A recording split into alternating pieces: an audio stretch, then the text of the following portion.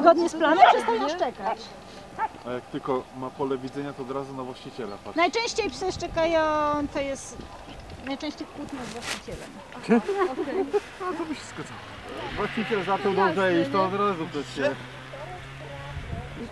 I, i, i teraz zaczyna się ten nudny moment, tak? Chodzę, no i co teraz dalej? Bo przecież już chodzimy.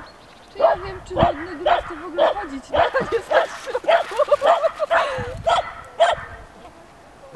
No to bym się cieszyła, A że tak naprawdę dopiero od tego momentu się zaczyna pracować, tak? Że się pokazuje temu psu raz, że dużo, pra, dużo hołd, bo hołd uspokaja psa, potem się zaczyna nauka stół, potem jest.